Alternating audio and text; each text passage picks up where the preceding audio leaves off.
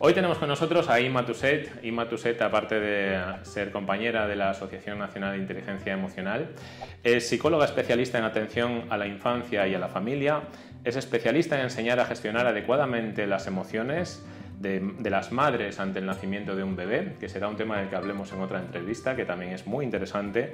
Además, es madre, es educadora infantil, experta en inteligencia, inteligencia emocional, crianza y apego infantil es apasionada de la infancia, le encanta ayudar a las familias para que mejoren las relaciones entre sus miembros, ha trabajado en centros de educación infantil, en centros escolares y sociosanitarios, en servicios sociales de entidades públicas y en centros de menores.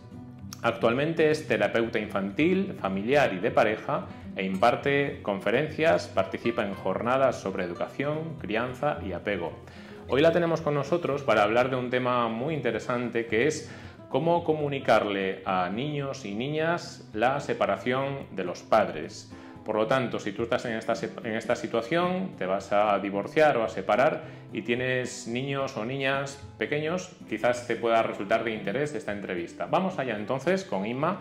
Eh, ¿qué, consejos, ¿Qué consejos concretos le darías a los padres eh, con respecto a cómo comunicarlos a los hijos? Si tuviéramos que elegir, por ejemplo, dos, tres pautas, ¿cuáles serían esas pautas? Lo primero y lo principal es la coordinación, ¿vale? Es decir, que si los padres han decidido separarse, que sepan muy bien que esa decisión mm, va a ser eh, eh, la que han tomado y la que se va a llevar a cabo y que estén coordinados en todo lo que va a pasar después, ¿vale? Eso es lo primero. Eh, lo segundo es, no vamos a mezclar lo que es nuestra relación de pareja con lo que es nuestra relación como padre y como madre. Somos una pareja, que esto fue una relación de amor que surgió en un momento determinado de nuestra vida, que es íntimo, que es nuestro y que nació antes de tener hijos. Y eso es un apartado de nuestra vida. Y que eso es lo que se ha roto por el motivo que sea. Porque esto es independiente. Al final una separación da igual el motivo. Lo principal es que gestione yo mis propias emociones con respecto a lo que yo he sentido si he sido rechazado, si me ha dejado, porque a veces ha sido uno el que ha tomado la decisión, pues tengo que manejar yo bien ese dolor, esa tristeza. El otro también, porque es un cambio importante en la vida. Si es una decisión que se ha tomado de mutuo acuerdo, pues mejor todavía, porque eso significa que están más coordinados. Pero eso es la pareja. Y luego tenemos nuestro rol de padre y de madre. Y ahí eso no se ha roto. Por lo tanto, hay que seguir coordinados. Lo que más suelen hacer los padres es hablar despectivamente del otro progenitor delante del niño o de la niña, ¿vale? Eso, lo que digo, a veces sale de forma impulsiva, hay gente que, que, tiene en cuenta esto y entonces no lo hace, pero a veces es muy difícil. Cuando tienes las emociones a flor de piel y estás muy dañada, sobre todo me ha pasado con casos donde ha habido una tercera persona, ¿vale? Que, es que esto puede suceder, yo no veo que sea nada traumático. Oye, pues la vida es así, nos surgen emociones que, que, a veces tenemos que dejarnos un poco guiar y si de repente ha aparecido otra persona, bueno, pues eso hay que gestionarlo también. Entonces hay mucho rencor en la otra parte. Entonces ese odio hacia la persona que, que, claro, le ha rechazado, al fin y al cabo, eh, hay otra que le gusta más, diríamos así. Entonces, claro, tú te sientes muy mal, merma tu autoestima, eh, hace que te sientas insegura, que te sientas débil y que tienes mucho dolor y tristeza. Entonces es muy difícil controlar el, mira lo que ha hecho, eh, que está, ya estás, o, algo que suele suceder cuando ya están separados y, y la otra persona ya ha dado a conocer esa otra tercera persona a sus hijos o hija. Ya estás con no sé quién, ya le eh, María ya está no sé qué, o ya está Juan contigo, ¿y qué te ha hecho? ¿Y qué te ha dicho? ¿Y qué has, sabes, cómo averiguando en la vida al niño de lo que ha hecho en la otra casa? Eso es un error muy frecuente y eso no hay que hacerlo, porque haces que el niño se sienta responsable de algo que no le corresponde para nada. Tú gestiónate bien tus emociones en cuanto al dolor que estás sintiendo y si necesitas ayuda de un profesional, búscalo que cuando no podemos, oye, hay cosas que, no podemos hacer por nosotros mismos. Pues busca ayuda que te ayude a gestionar eso y ya verás cómo la relación con tus hijos va a ser mucho mejor. Pero no hagamos responsables a los niños de algo que no tiene nada que ver con ellos. Nada que ver. Entonces, esto es algo bastante frecuente y es lo que también nosotros como profesionales tenemos que insistir más, el intentar que esto no se produzca y que los padres aprendan a separar una cosa de la otra. Tener la comunicación más positiva posible, este sería el tercer punto. ya utilices WhatsApp, utilices email, utilices eh, llamadas de teléfono o el cara a cara, tener una comunicación fluida y positiva. Y si hay algo en lo que no se está de acuerdo, nunca delante de los niños, que esto es lo que yo recomiendo siempre. ¿Hay algún problema? El niño está delante, yo ahí no puedo ser impulsiva y decir, eh, echar en cara cosas o decir es que tú no has hecho esto o lo otro. Me espero, no, no me lo guardo y no lo hablo nunca, no. Cuando el niño no está, está durmiendo o algo, llamo, oye, no me he sentido bien con esto, ¿cómo lo podemos solucionar? Desde la empatía, desde la asertividad y sin hacer daño a los demás. Esto significa no humillar, no insultar, eh, no menospreciar. Esto es lo que hay que tener más cuidado. Porque si encima eso lo hacemos delante de los niños, somos su modelo y ellos lo van a aprender. Por lo tanto, eso es lo que yo eh, nunca voy a dejar que se haga delante de los niños, porque no es adecuado. ¿Qué puede pasar? Porque en la vida perfectos no somos. Pues si lo hacemos, pedimos perdón al niño, pedimos perdón a la persona, le decimos, mira, a veces pues somos impulsivos y hemos dicho una cosa de la que no, eh, estoy de acuerdo y no me gusta y me siento culpable, se lo explico al niño y entonces voy a pedirle perdón a tu padre o a tu madre. Eh, lo siento, no tenía que haber dicho eso. Y que el niño vea que se puede pedirle perdón, que reconocemos nuestro error y que no pasa nada primero, evitamos que eso no se produzca y segundo, si se produce, pedimos perdón. Y ya está, ¿vale? Entonces sería coordinación, separar padres de pareja y comunicación positiva. Para mí eso sería lo esencial. Muy bien, Ima. ¿Y cómo se le debe comunicar a los niños que sus padres se van a separar? ¿En qué términos concretos? Pues esta es una buena pregunta porque eh, lo principal es que los padres no saben muy bien cómo decírselo a los niños y eh, no saben si esto les va a causar un trauma, que es algo que suelen preguntarnos. Y la verdad es que un trauma por esto pues no tiene por qué ser. ¿no? Hay cosas mucho más graves que sí pueden ocasionar un estrés postraumático, pero una separación bien llevada, una separación desde la sinceridad, desde el bienestar y desde el crecimiento personal, no tiene por qué causar un trauma. Al revés, es beneficioso porque estás eh, eh, terminando una relación negativa y estás enfocando a mejorar tu vida. Cuando tú mejoras tu vida, la vida de tus hijos también va a mejorar. Entonces entiendo que tengan ese miedo, eh, pero yo les ayudo a explicarles que no, que no es tanto el miedo, que no va a pasar nada traumático, sino que al revés.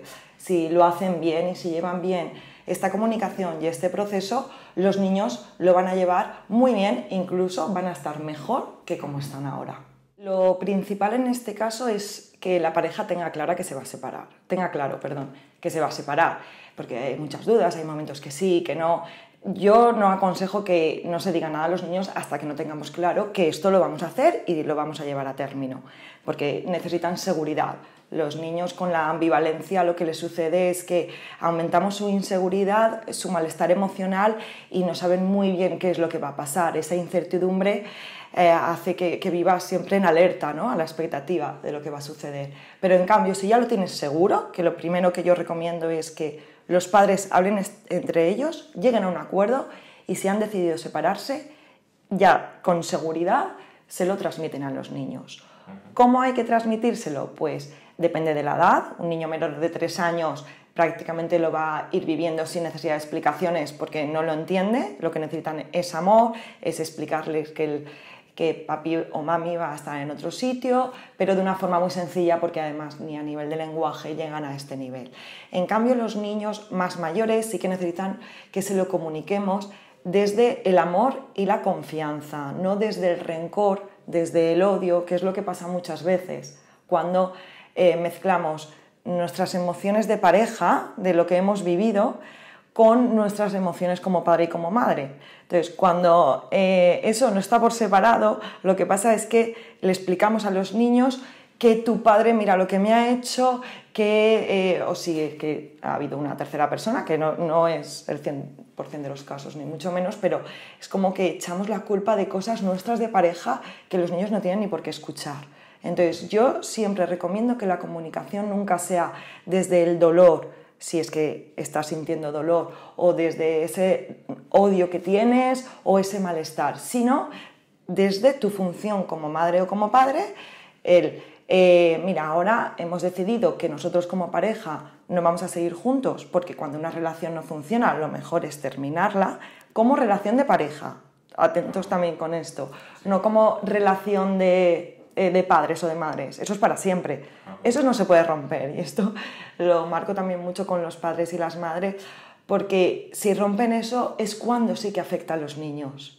Si tú rompes la pareja para cambiar, para mejorar, para eh, vivir y disfrutar de la, vida eh, pues, de una manera más satisfactoria, eso por un lado está bien, pero tú nunca rompes el que seas padre o madre. Eso tiene que ser para siempre.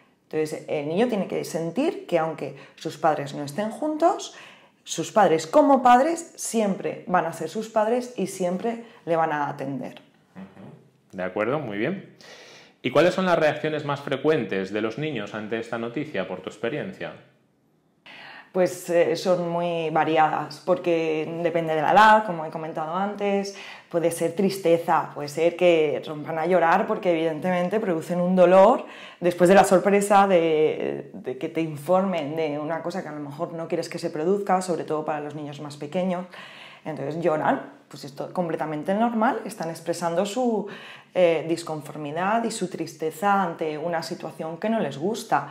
Ahí el niño lo que necesita es un abrazo, es ponerte a llorar también con él, es normal, es natural y es necesario que lo hagamos y apoyarle, escucharle y atender a su necesidad emocional. O sea, hay que ayudarle a través del diálogo a calmar esa tristeza y a que se transforme en otra emoción de, eh, relacionada con la aceptación, con decir, bueno, pues ahora ha habido un cambio, me tengo que adaptar a él y voy a enfocar y a poner todos mis recursos para avanzar en este camino.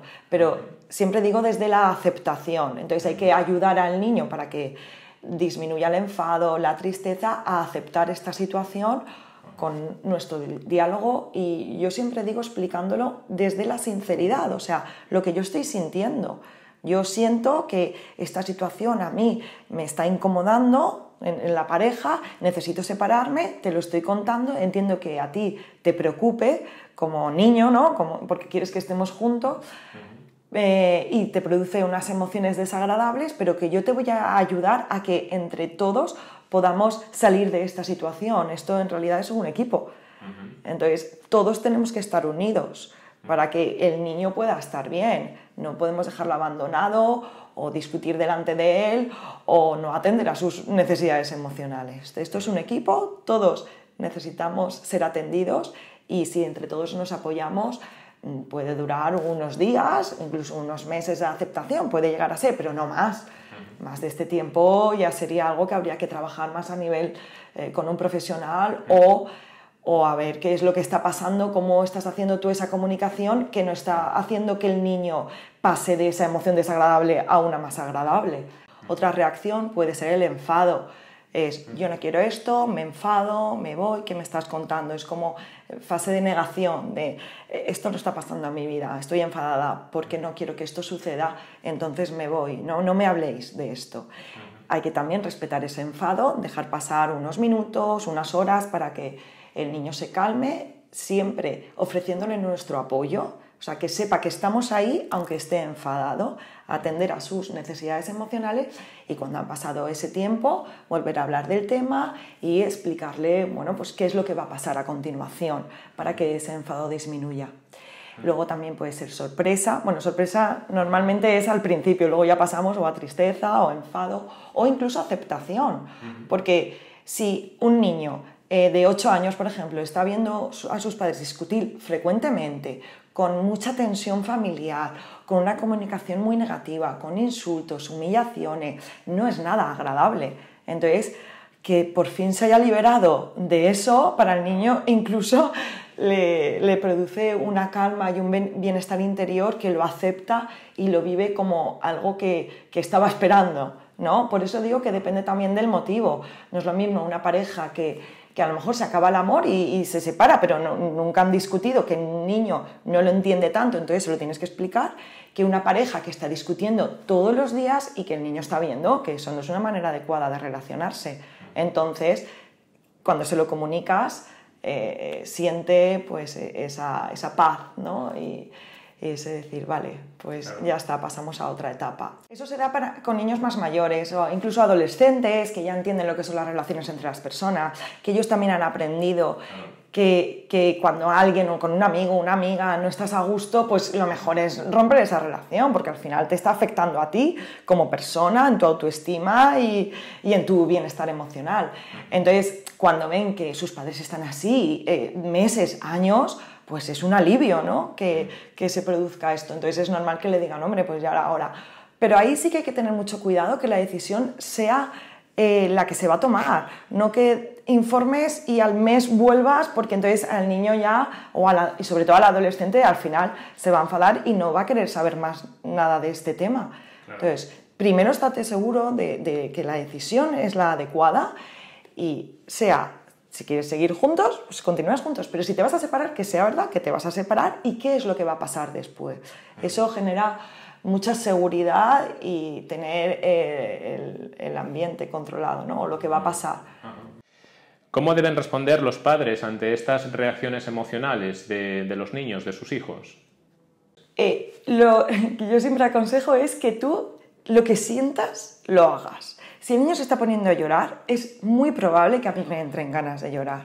O sea, yo que soy madre, yo estoy viendo a mi niña llorar, sea por el motivo que sea, y, empatizo tanto, que, lloro con ella, pues lloro con ella. O sea, llorar, abrazar, muy importante, el contacto físico, sobre todo con los niños pequeños, y también el respeto.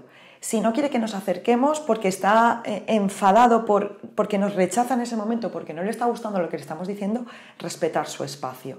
Entonces, conectar con la emoción, si está llorando, yo me pongo a llorar y, te digo, te entiendo que estés triste. Para mí esto también es triste. No hacer como algunos padres, yo no lloro delante de los niños. O, yo me mantengo fuerte y hago como que no tengo emociones. No, es que eso es perjudicial, porque lo que estás haciendo es negar tus propias emociones y lo que le enseñas al niño es, cuando te pase algo de tristeza, no, no lo exprese. Y eso es lo, que, es lo negativo, es lo que luego a la larga puede causar ansiedad, depresión, malestares mayores, porque inhibes tus propias emociones. Entonces, pues sentir lo que estás sintiendo, expresarlo y eh, sobre todo eh, hacer y transmitir a los niños que ellos no tienen la culpa de nada, que esto es una cosa de pareja y que los niños van a tener sus padres igual y ellos no han intervenido para nada ni tienen nada que ver con este tema. Esto es un tema de pareja que conforme vayan creciendo van a ir entendiendo. Con un adolescente sí que le podemos explicar qué es lo que ha pasado en la pareja. No entrar en detalles, yo digo que no es necesario que un niño lo sepa todo, todo al pie de la letra, pero sí decir, bueno, pues discutíamos mucho y eh, esto no podía continuar así, o tenemos expectativas de vida diferentes, que eso también, bueno, es importante. Eh, yo he de decir también que estoy separada, entonces eh, la explicación que le daba a mi hija es que tenemos expectativas de, vida diferente y de, y de, relación de pareja. Entonces, si yo no pienso lo mismo que tú, ¿cómo vamos a vivir eh, en unión si cada uno queremos hacer unas cosas? Es que no tiene sentido para la vida. Entonces, explicárselo desde esa sinceridad pues al niño le va a calmar. Entonces así vamos a atender mejor a sus propias emociones. Supongo que no será lo mismo a lo mejor las diferencias, las reacciones emocionales de, de niños muy pequeños que otros que son más adolescentes. ¿Cuáles son estas diferencias? Sí, esta es una pregunta importante porque depende de la edad, habrá que dar unas explicaciones u otra. Los niños menores de 4 o 5 años, sus reacciones son más de somatizar, ¿no? Pues a lo mejor tienen problemas de sueño, más rabietas, están más sensibles, más llorones. Entonces, sobre todo hay que atender esas emociones. Eh, como he dicho antes, tenga la edad que tenga siempre desde la sinceridad, es decir, eh, entiendo que estés enfadado, entiendo que estés triste, eh, mami y papi siempre van a estar contigo, te van a querer siempre y te van a educar como lo hemos hecho hasta ahora, eso no va a cambiar. Y luego con los pequeños también podemos enfocar un poco a lo positivo, de lo nuevo que va a venir, si ya se ha solucionado. Yo recomiendo que que intentemos como padres solucionar ya el tema de la vivienda, dónde va a estar uno, dónde va a estar el otro, cómo van a ser las rutinas en su día a día, porque a un niño menor de 5 años, si le cambiamos mucho las rutinas, también puede causarle mayor estrés emocional. Entonces, Si le decimos, bueno, pues ahora papi va a venir a vivir aquí, mami aquí, tú vas a estar aquí una semana, la siguiente semana aquí, mira, esta es tu habitación, tal. Entonces, para que el niño pequeño enfoque en lo positivo, porque los pequeños se adaptan muy bien a los cambios. Entonces, si le eh, enseñamos las cosas buenas de la nueva situación, vamos a disminuir ese estrés. No hay que darle más explicaciones. Al niño mayor, a partir de 6 a 12 años, hay que ir explicándole que en las relaciones eh, con los demás, si hay algo que no nos gusta, que esto ya lo han ido trabajando en el colegio, debemos de decir, oye, no, no me gusta, para, esto que me haces me, está causando malestar. Y esto realmente es lo que ha pasado en la pareja, si no, no te separas. O sea, te separas porque hay algo que no cuadra. Entonces, al, eh, al, niño que está en primaria, por definirlo un poco más o menos, que está ya empezando con sus primeras relaciones sociales de amistad, eh, sí que le podemos hablar desde cómo él se siente cuando está con una, una persona que, que no le gustan las cosas que le hace, qué es lo que hace, cómo reacciona y que eso mismo estás haciendo tú y encima estás sirviendo de modelo. Al fin y al cabo, somos los referentes de los niños y las niñas. Y en otro punto tenemos a los adolescentes, ¿vale? Que esta es otra etapa de la vida con las emociones a flor de piel y aquí sí que hay que ser muy sensible a lo que está sintiendo la persona. Yo creo que la adolescencia es la etapa de mayor crisis personal de las personas, porque bueno, valga la redundancia, porque pasamos de ser niños a ser adultos. Es el proceso más importante de la vida y conlleva que tengas un torbellino emocional en la cabeza que no sabes cómo gestionar. Eh, mis padres también se separaron cuando éramos adolescentes y somos cuatro hermanos. O sea, imagínate, te puedo hablar desde el punto de vista personal y desde el punto de vista profesional y eh, te centras mucho en los amigos, es como que no quieres saber nada del tema o al revés, puedes estar muy enfadado con tus padres. Entonces hay una mezcla de rechazo con odio, con enfado, con amor y eres lo más importante en mi vida, con no quiero que esto pase, con déjame en paz, me distancio y yo sigo mi marcha con los amigos. Y así por lo menos desconecto de esto. Entonces, ¿Qué hay que hacer? Pues depende de cada caso, depende de cada familia, de cada uno cómo gestione sus propias emociones, lo que mejor le venga a ese niño o a esa niña, a ese adolescente o a esa adolescente. No se puede generalizar. Si hay un adolescente que llora continuamente, que es muy sensible, que está triste, hay que atenderle ahí, hay que escucharle, hay que estar a su lado y hay que apoyarle, no solo para que gestione este cambio de una manera positiva, sino para que también las relaciones que eh, eh, establezca con las personas y más cuando él está empezando o ella a tener sus primeras relaciones íntimas de una manera adecuada. Entonces hay que escucharle sobre todo. Más que hablar, hay que escuchar, que eso no lo tenemos a veces muy claro. No, es tanto contar, sino escuchar cómo te sientes tú, qué, qué estás viviendo acerca de este tema. Y luego, si es una persona que quiere mantenerse distante y quiere salir con los amigos y así está bien, simplemente advertirle de las cosas negativas como cualquier otro adolescente que puede suceder eh, con la búsqueda de nuevas experiencias, pero dejarle eh, su espacio. A lo mejor no es el momento de darle más explicaciones. Tú ya se lo has explicado, le has dicho esto es lo que va a pasar, como cuando era más, eh, como con niños más pequeños explicándole qué va a pasar a partir de ahora, dónde va a estar, dónde se puede ubicar, la libertad que puede tener en una casa, en otra, de ir a un sitio a otro. Muy importante, adolescentes, marcar muy bien los horarios y que los padres estén coordinados en este aspecto. Esto es de las cosas más importantes, porque a los adolescentes hay que ponerles muchos límites, porque si tienen demasiada libertad, al final se pierden y no saben a dónde ir. El amor va con la guía. Entonces, como padres, juntos o separados, tenemos que dar amor y guía. Y esa guía es, te pongo un límite. Y no puede ser que en casa de un padre tenga unos límites y en casa de la madre otro.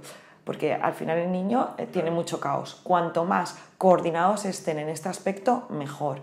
Y si no quiere hablar, no, no vamos a forzar a hablar. Ya llegará el momento.